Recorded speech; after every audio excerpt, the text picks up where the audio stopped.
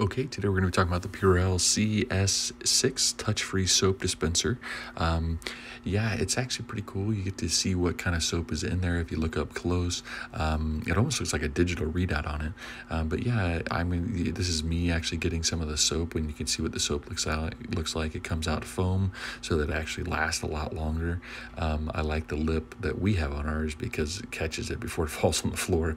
Um, and then that soap again, very easy to rinse off. It's not a uh, sticky kind of on their stuff. So good stuff.